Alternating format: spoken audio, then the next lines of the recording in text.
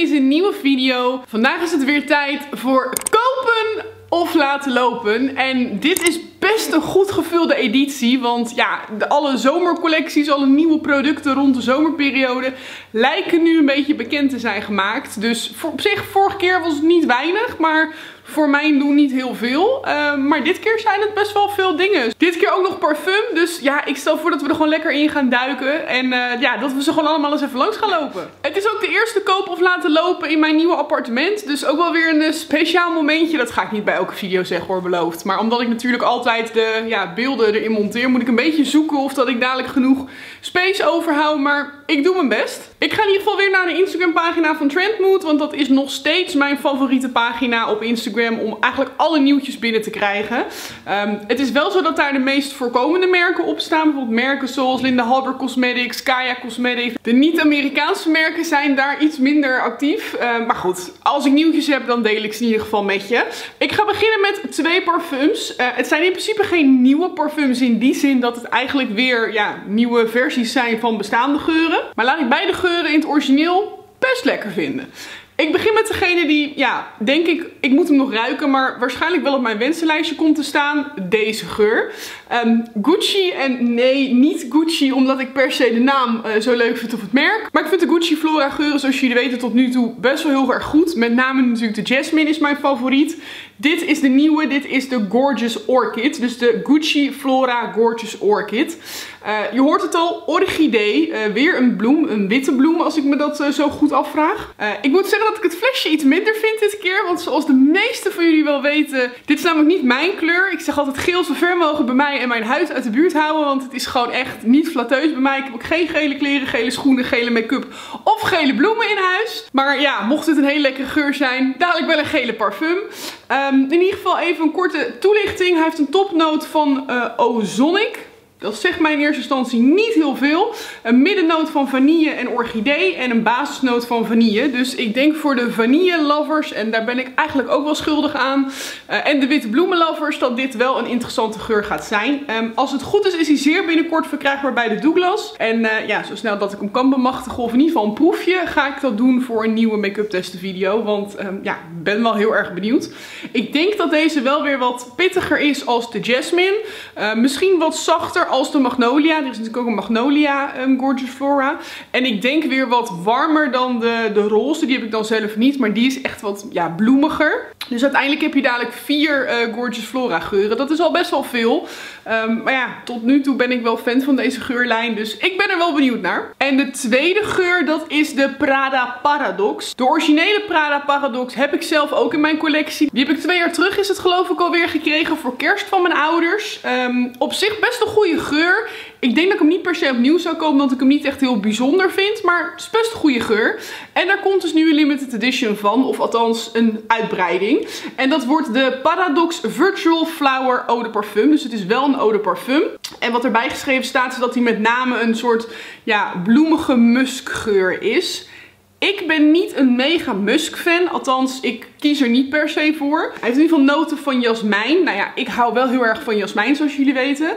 Neroli, musk, uh, amber en bergamot. Het klinkt overall wel best lekker. Dus ik denk dat ik hem wel zou willen ruiken. Ik vind de fles is iets lichter van kleur dan de originele Paradox. Verder is die eigenlijk hetzelfde. Ja, weet je, dat, dat zijn gewoon van die typische dingen. Als een geur goed loopt, dat, heb ik van mijn moeder geleerd. Dan gaan ze altijd een, een limited edition of een nieuwe versie maken. Het is niet altijd beter als het origineel, maar soms ook wel weer beter dan het origineel. Dus ik uh, ga het afwachten, maar ik ben wel heel nieuwsgierig hiernaar. En dan nog even voor alle Sabrina Carpenter fans. Uh, ik ben op zich ook wel fan van de muziek, maar niet zo diehard fan. Maar in ieder geval voor de diehard fans die wel zitten te kijken. Sabrina Carpenter krijgt ook een parfum. Uh, voor degenen die trouwens zitten te kijken en weer denken wie is Sabrina Carpenter. Uh, Espresso en Please Please Please. Dat zijn haar uh, singles onder andere waar ze momenteel best wel goed mee scoort. Ik vind ook leuke liedjes. Die je veel hoort op TikTok. Dus de TikTokkers kunnen het niet zijn ontgaan. Maar in ieder geval Sabrina Carpenter krijgt een parfum Cherry Baby. Wat ik in ieder geval lees, dat in ieder geval op haar website verkrijgbaar zal zijn. Of die ook binnenkort nog eens een keer naar onze parfumerie komt. Zoals bijvoorbeeld een Douglas. Dat weet ik nog niet. Maar ik dacht leuk om in ieder geval toch even te delen. Uh, geur inhoudelijk, ja, Cherry Baby. Ik denk dat het al vrij helder is dat het in ieder geval een kersengeur is. Verder kan ik er nog niet echt heel veel over vinden. Ehm, ik denk dat het gewoon één formaat is, wat ik in ieder geval zie staan. En die is rond de 50 dollar. Dus het is niet een hele dure geur. Ik denk een beetje in het straatje van Ariana Grande-achtige geuren. Maar ik dacht leuk om misschien nog even te benoemen. Nou, dan stel ik voor dat we overgaan naar de make-up. En een aantal items in deze video, daar ben ik echt heel erg benieuwd naar. Ehm, ik ga in september, eind september, weer naar Spanje met mijn ouders op vakantie. En natuurlijk ga ik ook weer even naar de Sephora. Dus in deze video zullen vast wel wat hints zitten van... hey, die ga ik misschien wel kopen.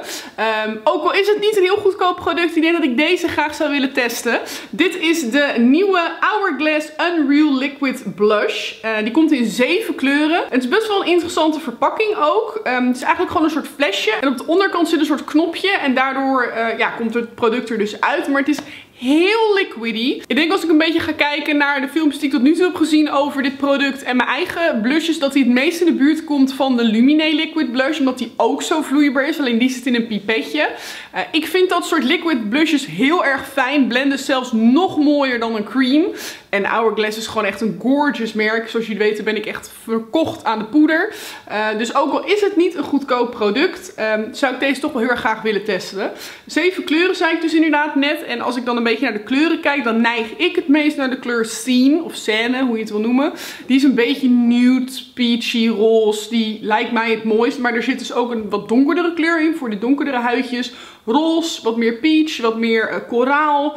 Um, ook een beetje een soort mauve kleur. Dus op zich, het is niet een heel groot kleurkeus, maar wel genoeg wat mij betreft. Ja, en als ik even kijk naar hoe die modellen eruit zien uh, op de foto's, denk ik echt, wauw, echt, love it. Dus in principe staat deze wel op mijn wishlist uh, om te kopen. Dan Fenty Beauty, want in de vorige video heb ik het er al uitgebreid over gehad, maar ook deze video, ja...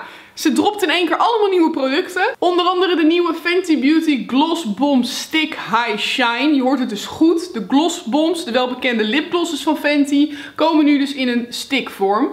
En ze gaan echt nu al overal helemaal viral. Het zijn in totaal 10 kleuren. Dat is best op zich een uitgebreid assortiment. En het lijkt ook weer een beetje de ja, glowy, glossy lipsticks zoals heel veel merken tot nu toe hebben. Maar deze uh, ja, blijken echt een ultieme high shine te hebben. Ik denk dat ze een beetje lijken op Hourglass. Dit oogt iets gepigmenteerder. Als ik een beetje kijk naar alle kleuren overall, dan vind ik het wel heel erg nude. Een paar kleuren. Sommige zijn naar mijn smaak weer iets te roze. En ja, er zit ook rood en vrij donker bij. Ik denk dat ik het meest geneigd zou zijn om Fenty Glow te kopen. Dat is toch wel de meest ja, nude, toch een beetje warme kleur. Spice Cold vind ik ook wel mooi, maar het ligt er een beetje aan hoe ijzig is die kleur in het echt. Dat zou ik echt moeten swatchen. Dus ja, het ziet er wel nice uit. Zoals ik net al zei, ik vind het niet een heel nieuw product. Het is meer gewoon zo van, oké, Fenty heeft er nu ook één. Um, tot nu toe vind ik de kwaliteit er wel ja, nice uitzien. Ik vind de kleuren ook wel mooi, maar ja, het zou niet helemaal mijn kiem zijn. Als ik ook een beetje kijk naar ja, de kleuren overall, ik, ik, het oogt mij heel uh, licht roze en dan heel donker. Ik vind dan Fenty Glow nog de enige die een beetje zeg maar in between is. Ja, en Spice Cold vind ik wel nice eruit zien, maar is misschien ook weer wat donker. Er had, had nog wat tussen mogen zitten of zo. Op zich 10 kleuren is niet weinig, maar ik vind ze heel erg gericht qua tint. Maar dat is heel persoonlijk. Uh, ja, ik ben in ieder geval wel benieuwd om deze te proberen. Dat, dat wel. Uh, ik denk alleen dat ik gewoon echt ja, zou moeten swatchen en moeten kijken van oké, is it worth it? Of heb ik al zoiets.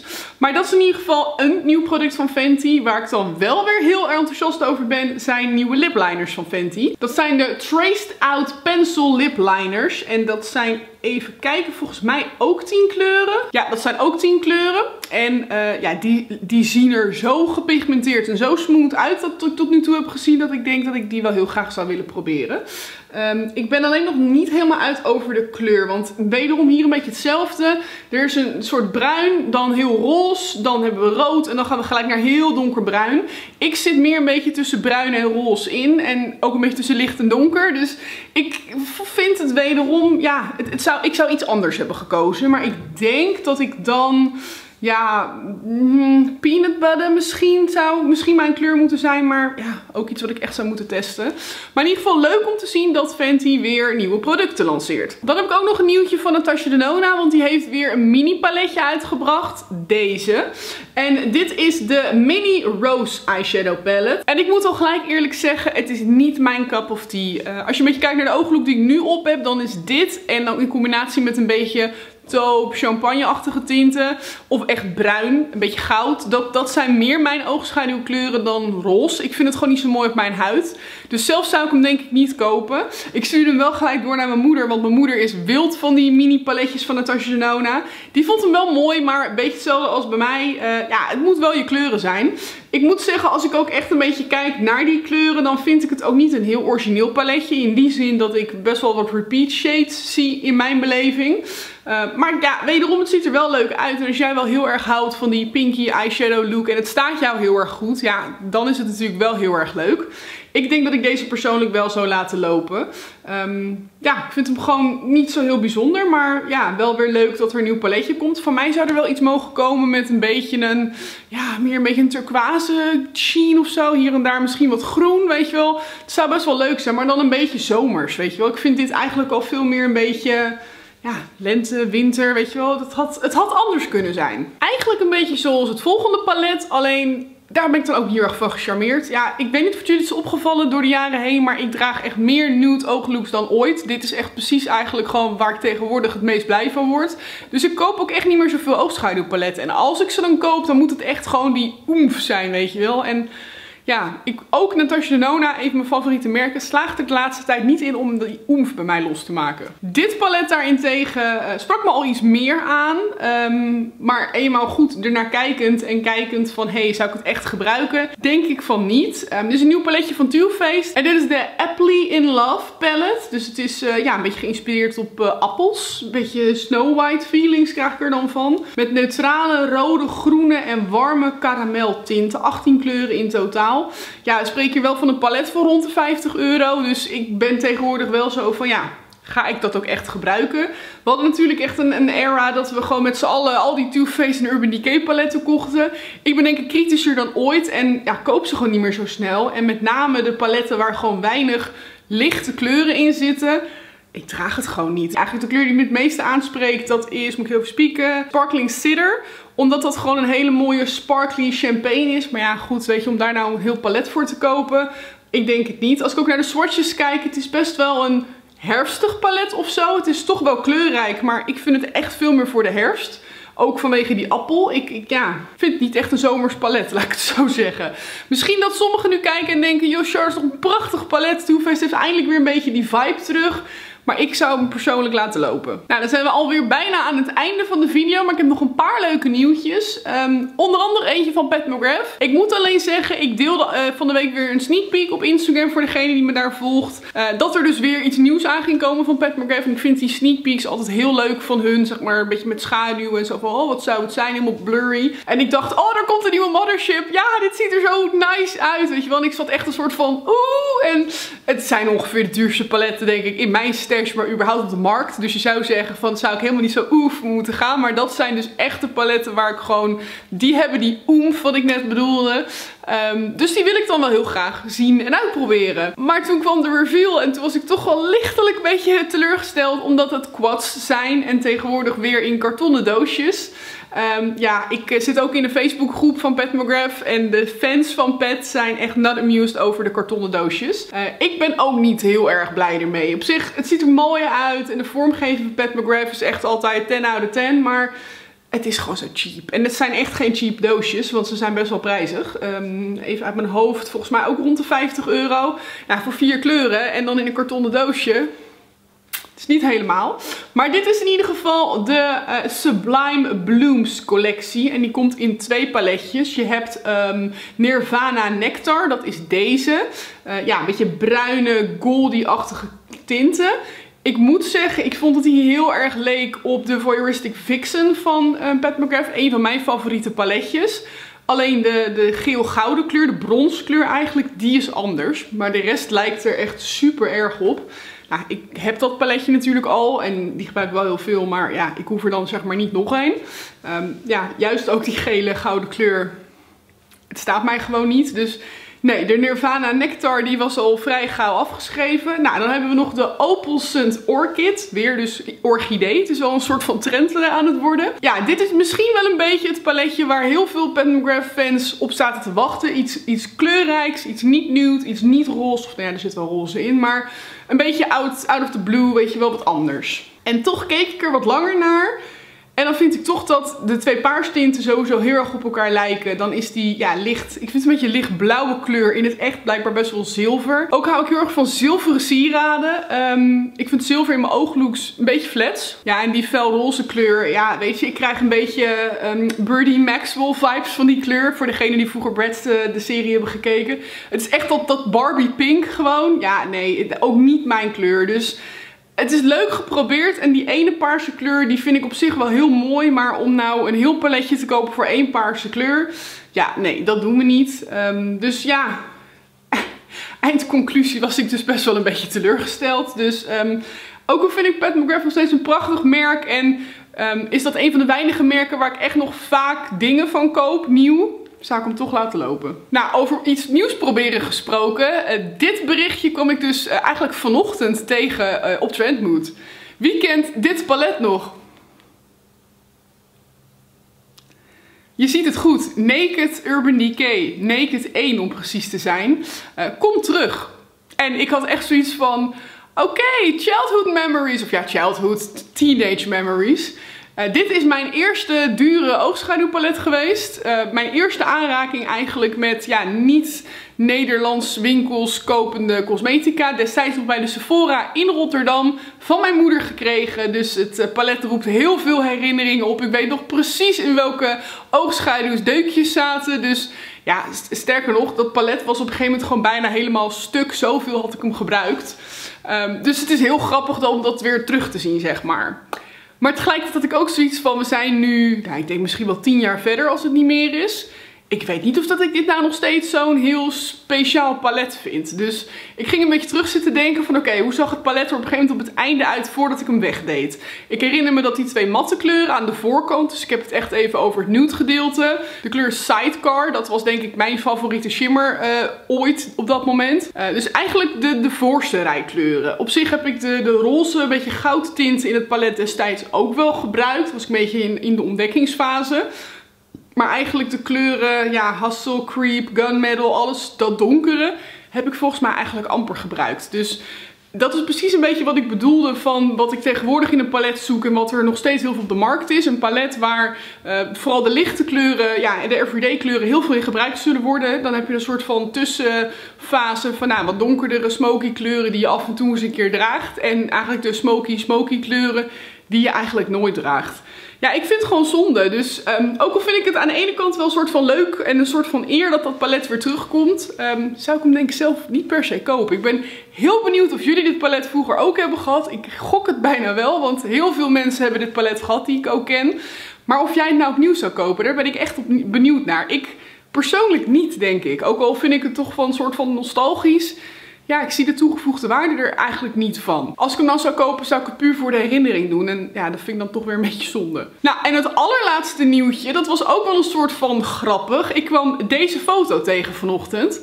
En toen dacht ik, oh, Rimmel heeft weer een nieuwe mascara. En toen dacht ik eerst van, Rimmel, ja maar Rimmel, dat, dat post-trend moet eigenlijk helemaal niet zoveel. Dus toen ging ik wat beter kijken, wat beter lezen. En toen stond er geen Rimmel, maar Charlotte Tilbury. Dus ik ben heel benieuwd of jullie datzelfde hadden bij het zien van deze foto. De, de, de verpakking, zeg maar, de, de vormgeving qua vorm, deed mij gelijk heel erg denken aan Rimmel London. Ik weet niet waarom, maar dat dus. En dat vond ik op het eerste gezicht al niet heel positief. Want Charlotte heeft natuurlijk best uh, ja, kostbare mascara's. Uh, hele mooie verpakkingen. En dan weet ik niet of dat ik dit zo'n compliment vind als dat mijn eerste indruk was. Maar goed, dat was de eerste indruk. Het is in ieder geval dus een nieuwe mascara. En ik was gelijk een beetje, een beetje mixed enthousiast. Want de laatste nieuwe mascara was de Pillow Talk mascara van Charlotte Tilbury. En dat is een van de minst fijne mascara's om er met name af te halen. Ik vond het op zich niet een slechte mascara, maar hij is niet van je wimpers af te krijgen. En in mijn geval gaan mijn wimpers daar gewoon echt stuk van. Dus heb ik heel snel weggedaan toen ik hem, uh, ja, op een gegeven moment uh, toen hij klaar was. Toen dacht ik, oké, die koop ik echt nooit meer, want mijn wimpers worden daar gewoon niet blij van. Uh, de andere twee mascara's van Charlotte, die zijn oké-ish, maar ik heb voor de mascara's zou ik niet snel naar Charlotte Tilbury gaan. Um, maar er komt dus een nieuwe uit. En dat is de Exaggerize Volume Mascara. Als je kijkt naar de foto's, dan is het echt een soort van holy heavy volume mascara. Wat hij uh, belooft is smudge-proof, flake-proof, clump-proof, humidity-proof, longwear, uh, bigger, thicker, longer. Ja, alles wat je eigenlijk in de mascara wil, dat, dat claimt hij.